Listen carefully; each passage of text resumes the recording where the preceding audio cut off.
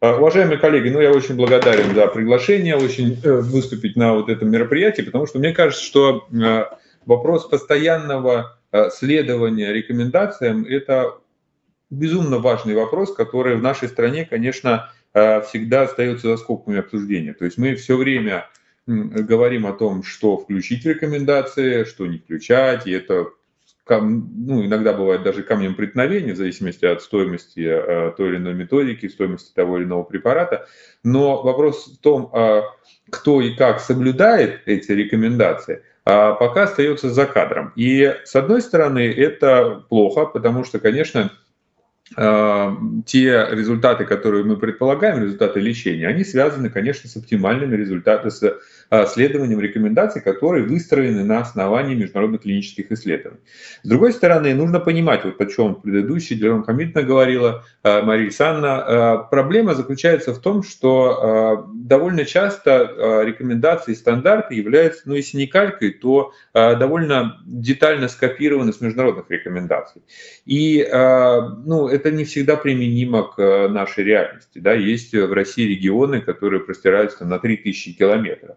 А, ну и даже в полтора, раз в полтора месяца пациенту не всегда удается как бы, приехать из труднодоступного региона.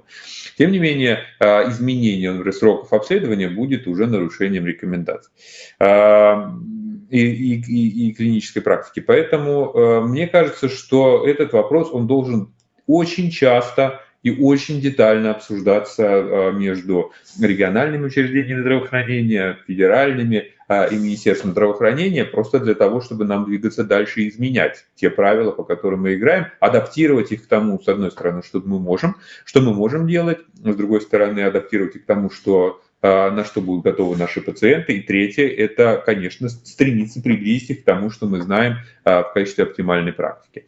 Я, к сожалению, немного неправильно э, понял задачу. Это у меня первый слайд стоит. Значит, я не очень правильно понял задачу, поэтому я, конечно, акцент делал именно на смысловых моментах, а не на э, том, что э, как, как, как именно нужно проводить эти процедуры. Поэтому я э, позволю себе говорить об этом на словах, а, соответственно, смысловую часть покажу вам на слайде. А, несколько принципиальных моментов, которые были изменены в клинических рекомендациях, которые посвящены лечению рака легкого. Первый, самый большой прорыв связан с тем, что мы теперь уже знаем о том, что мутаций довольно много, в частности при аденокарциноме, некоторые начинают э, приобретать значение при плоскоклеточных опухолях. А, эти мутации, эти мутации довольно многообразны, они по-разному влияют на лечение, какие-то мы можем использовать, какие-то нет, какие-то важны для уже существующих методов лечения, какие-то определяют неэффективность иммунотерапии, какие-то определяют высокую эффективность таргетной терапии. То есть мы теперь для того, чтобы формировать оптимальный подход к лечению, должны, безусловно, знать молекулярно-генетический профиль. И здесь, так же как и раньше, существует два вида молекулярных нарушений. Первое – это основные, которые должны быть определены до начала проведения лекарственной терапии. А, это EGFR, транслокация ЛК-РОС1 и мутации BRAF. И редкие молекулярные нарушения, которые уже можно, э, которые можно определять на фоне проведения первой линии терапии. Ну, чаще всего это целесообразно тогда, когда предыдущих не выявлено. А, искать редкие активирующие мутации я имею в виду. Поэтому на фоне химиотерапии, химиоиммунотерапии или химиотаргетной терапии, если мы говорим про терапию с белоцизумабом. А, важно сказать, что поиск активирующих мутаций – это довольно э, история э, на настоящий момент э, должна быть проактивная. То есть, мы, конечно, мы предполагаем, что мутации с большей вероятностью будут у молодых пациентов, у никогда не куривших пациентов, но а это не снимает необходимость проводить аналогичное тестирование для больных, которые курили, у которых получилась аденокарцинома легкого. А, так или иначе, значит, определение а, оптимального объема а, EGFR АЛК, РОС-1 и БИРАФ требуется всем пациентам с аденокарциномой легкого. Проведение дополнительного исследования, а, которое на настоящий момент а, рекомендованным методом которого является секвенирование следующего поколения, показано пациентам молодым, а, никогда не курившим и пациентам, ну, в первую очередь, молодым пациентам. Почему? Потому что механизм канцерогенеза, который характерен для опухоли легкого, связанный с ингаляцией различных карциногенов, будь то смолы табачного дыма, никотин или внешние какие-то факторы загрязнения, требует довольно длительного периода для того, чтобы э, превратить нормальный э, эпителий в опухолевый. Поэтому у пациентов молодого возраста просто этот критический срок не достигнут. Поэтому э, в текущих рекомендациях было предложено проводить секвенирование следующего поколения молодым пациентам до 35 лет, которым, у которых не выявлено а, активирующих мутаций наиболее распространен. Это очень важный момент, который, к сожалению, мы можем реализовать пока не во всех регионах нашей страны, но тем не менее, наверное, это путь к тому, чтобы интегрировать секвенирование следующего поколения в клиническую практику и применять его значительно шире, чем мы это делаем. А, выявление активирующих мутаций имеет принципиальное значение, потому что а, в зависимости от того, какое лечение пациенты получают, э, существенно изменяется их продолжительность жизни. Речь идет про таргетную терапию, наиболее оптимальный вариант, но не только. Потому что пациенты с активирующими мутациями, с редкими активирующими мутациями, такими как а, транслокация ред 1%, транслокации хер, э, мутации, инсерции в HER2, инсерции в 20-м экзоне EGFR, ну и прочие, да, они не нуждаются чаще всего в проведении иммунотерапии, потому что у них она будет малоэффективна.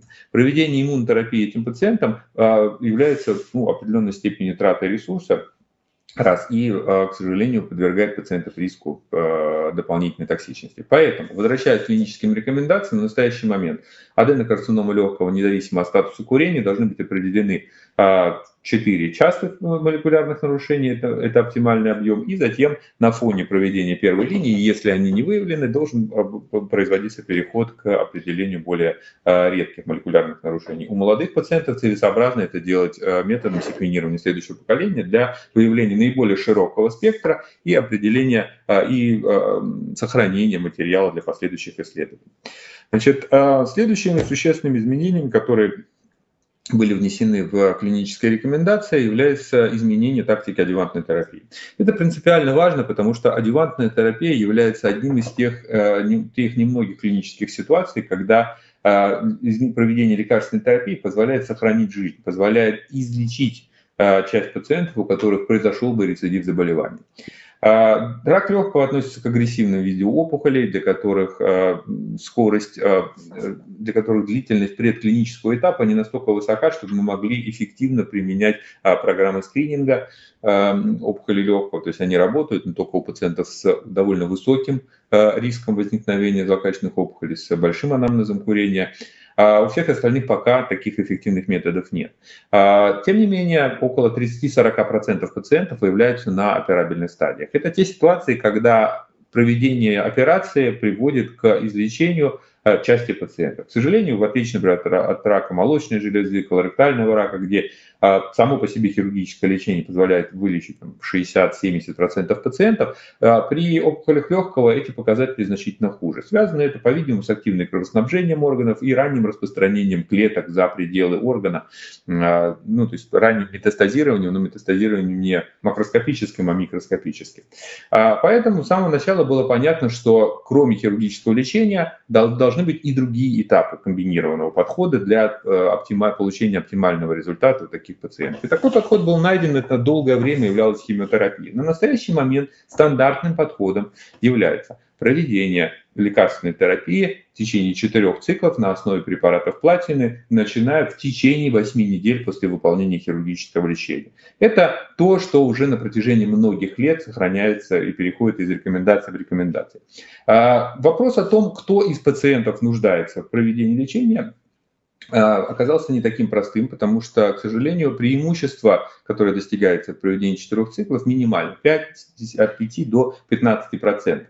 И а, для того, чтобы показать достоверность этих различий, потребовалось мета-анализ многих исследований, в рамках которых и было показано, что для больных со второй А третьей А стадии, которым было проведено хирургическое лечение, проведение вот четырех циклов платин содержащей химиотерапии позволяет увеличить результаты безрецидивной выживаемости, то есть помочь части пациентов излечиться. Вопрос по поводу более ранней первой Б стадии, он на настоящий момент не до конца определен. Связано это с пограничным влиянием Э, на безрецидивную живаемость для этих пациентов. И есть небольшая группа больных, которая выигрывает, это пациенты с высоким риском, но это уже как бы дополнительное обсуждение, которое должно проводиться в том числе с пациентом. Э, были проведены исследования нескольких вариантов лечения. Э, больше всего доказательной базы для режимов, которые содержат цисплатин и навельбин, но были исследования и для карбоплатина с паклитокселом, под одной из последних для пиметрикседа с карбоплатином, для венеральбина с карбоплатином, Э. А, в общем-то, они все дают похожие результаты. Поэтому мы выбирать один из режимов можем на основании удобства и ожидаемой токсичности. Поэтому на настоящий момент приемлемым считается проведение терапии на основе препаратов платины, приоритет э, для цисплатина, больше данных. И с, э, с второй цитостатик новейшего поколения, пимедрексет, фенеральбин или паклитоксел или доцитоксел. В совокупности вот из этих режимов необходимо выбирать для того, чтобы проводить адъювантную терапию. Лечение проводится до 4 циклов, дальше пациенты наблюдаются.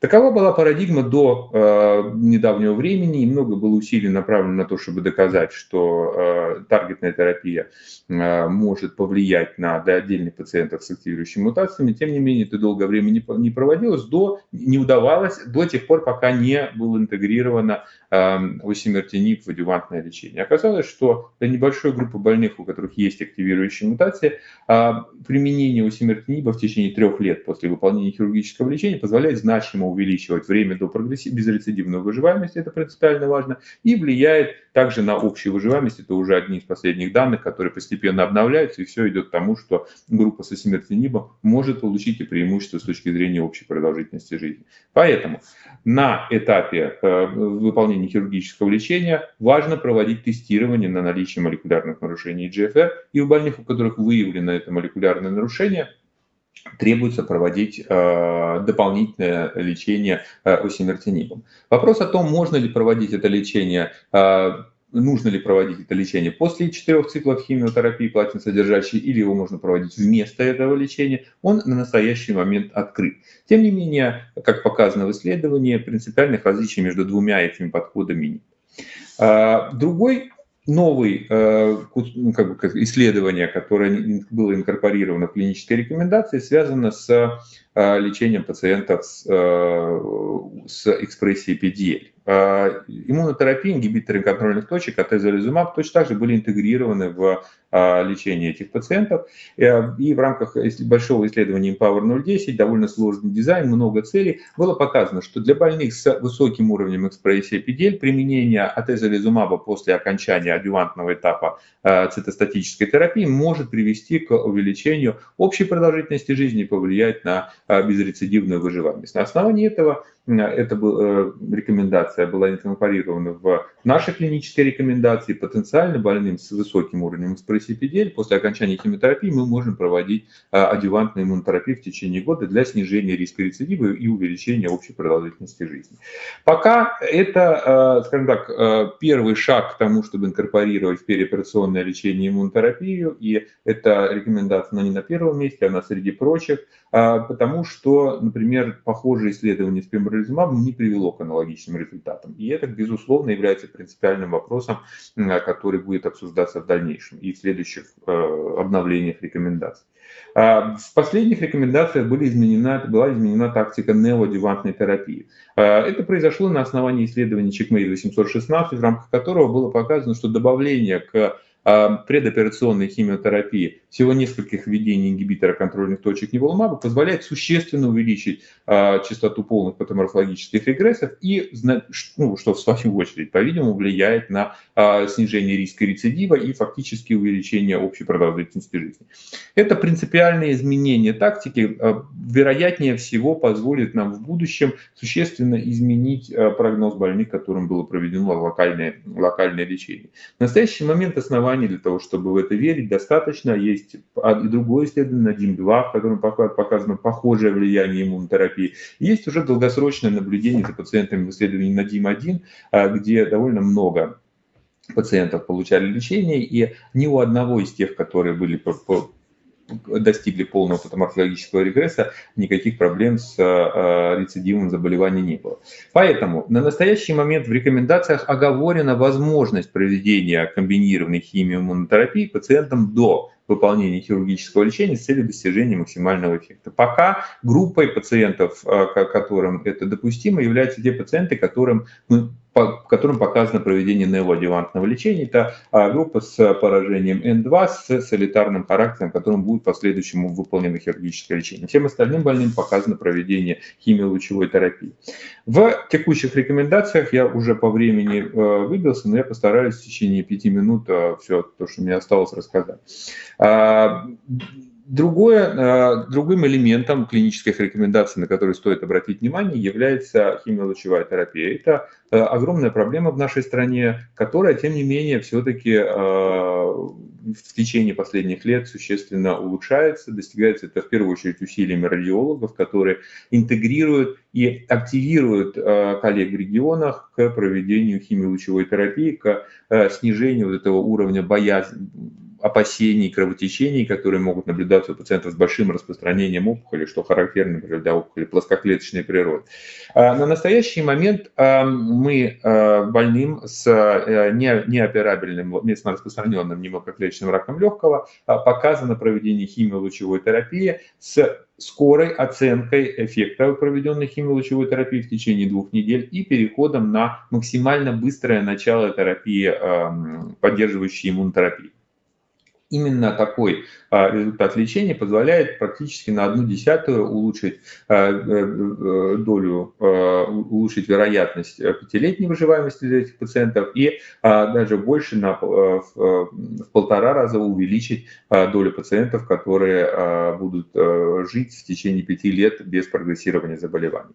А, это одна из тех областей, где соблюдение клинических рекомендаций довольно сложно и, а, если говорить формально. Конечно, возможность применения этого алгоритма в клинической практике, она связана исключительно с опытом, потому что у значимой части пациентов на фоне проведения а, иммунотерапии возникают пульмониты, которые могут быть связаны с лучевой терапией, могут быть связаны с иммунотерапией, поэтому ну, как бы это то, что исключительно можно работать практика и требует тщательного взаимодействия с э, радиологами на, собственно, всех этапах лечения э, пациента. Так или иначе, э, в клинических рекомендациях это предполагается. Терапию дурволимабом требуется проводить до года, и сейчас есть разные КСГ, некоторые из них позволяют проводить иммунотерапию один раз в 4 недели, что, в общем, довольно удобно и для стационаров, и для пациентов. А отдельный вопрос, буквально в двух словах, это проведение локального лечения у больных с угрозой патологических изменений. Это та область, которая недооценивается в нашей стране. У нас есть несколько примеров того, когда проведение локального лечения а потом реализовывалось в отсутствие симптомов на протяжении длительного времени, на протяжении года. Вот эта больная жива до сих пор, у нее все хорошо, мы провели с самого начала лучевую терапию на кости, дальше она получала иммунотерапию. Другая пациентка совместно с Никитой Евгеньевичем мы ее лечили. А здесь не так все хорошо получилось, мы у нее выявили мутацию и начали лечение без проведения локального лечения на а, поясничный отдел позвоночника. На седьмой день произошел перелом, компрессия а, корешков спинного мозга и симптомы на протяжении двух лет терапии, двух лет таргетной терапии. К сожалению, это можно было предотвратить, проведя своевременно вот этот этап локального лечения, а, о чем необходимо помнить, э, и это оговорено в клинических рекомендациях. И, безусловно, это та ситуация, в которой взаимодействие с федеральными клиническими центрами, наверное, было бы приоритетным, потому что э, ну, далеко не во всех э, регионах, региональных центрах есть возможность выполнения высокоспециализированных остеопластических различных вариантов стереотоксической лучевой терапии, которые в этой ситуации могут сохранить пациентам качество жизни, а, к сожалению, в нашей пациентов, которые получают системное лечение, это практически равно длительной продолжительности их выживания.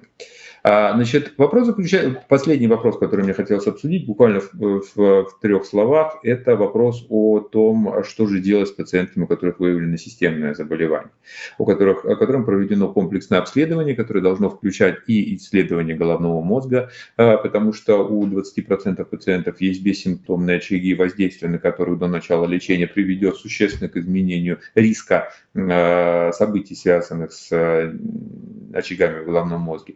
А проведение компьютерной томографии органов грудной клетки, брюшной полости ПЭТ в этой ситуации выполнять не обязательно. Гистологическая верификация иммуногистохимического подтверждения вида опухоли с последующим исследованием биомаркеров, которые, как я уже говорил, это, эм, определяют активность таргетной терапии, активирующей мутации. И второе – это определение чувствительности к иммунотерапии. Сейчас пока, к сожалению, у нас маркер такой только один – а, это PDL-экспрессия, он делается иммуногистохимическим методом. Здесь нужно обратить внимание, что что а, то исследование, которое делает Евгений Наумович, оно может позволять лишь оценочно судить о уровне экспрессии, требует затем подтверждения, уточнения с помощью иммуногистохимического исследования.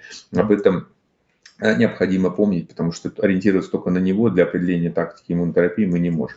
А, и, безусловно, нужно знать, что иммунотерапия – это важнейший метод, который позволяет улучшить большинство из показателей. Но а, пока в том виде, в котором она есть, к сожалению, иммунотерапия не стала той панацеей для наших пациентов, на которую мы очень сильно надеялись. К сожалению, без рецидива заболевания проживают всего меньше одного из десяти пациентов, то есть реже, чем один из десяти.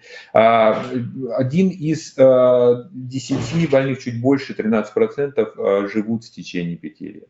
А, это, безусловно, больше, чем тех пациентов, которые не получают иммунотерапию, но это пока далеко от тех оптимальных результатов, которые мы хотели. К сожалению, похожие результаты получаются для двойной иммунотерапии, и, по-видимому, похожие результаты будут и для двойной иммунотерапии с химиотерапией.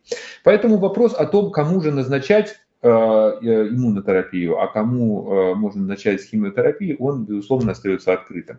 И мы теперь знаем, что и даже больные с гиперэкспрессией PDL, они очень сильно различаются между собой. Есть больные с высокой экспрессией, которым можно проводить монотерапию, а есть больные, которые нуждаются в проведении химиотерапии в связи с гнетом опухолевой нагрузки и симптомами, связанными с опухолью. А, в этом году были внесены изменения, которые а, позволили нам а, говорить о том, что больным с высоким уровнем экспрессии, высокой скоростью роста, наличием симптомов и угрозой давления или прорастания разных органов в качестве первой линии терапии, независимо от уровня экспрессии, может быть э, инициирована химио, э, химиоиммунотерапия. Единственная категория пациентов, которым это не рекомендовано в рамках текущих рекомендаций, это больные с э, пожилого возраста. У них преимущество существенно от использования химиоиммунотерапевтического подхода не получается.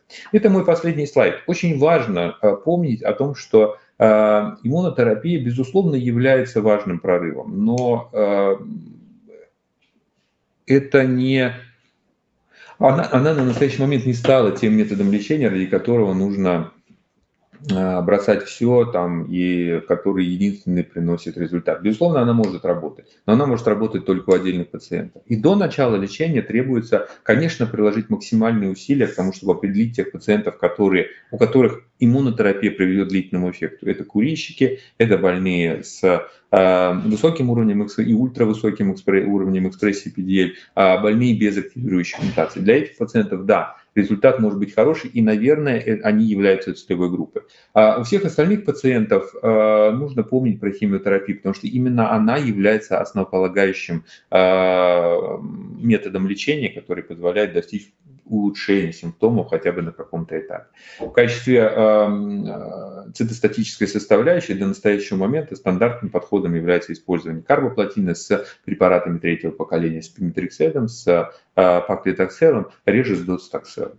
А, для пациентов с аденокарциномой легкого без угрозы кровотечения мы можем добавлять к этому таргетную терапию а, бевацизумабом. Лечение практически всегда проводится до 4 циклов. В некоторых ситуациях можно сделать 6 циклов. И затем в случае удобства и в случае возможности стационара можно перейти на поддерживающую терапию а, пимитрексидом и бевацизумабом. Большое спасибо, коллеги. Я прошу прощения, что я так перебрал время.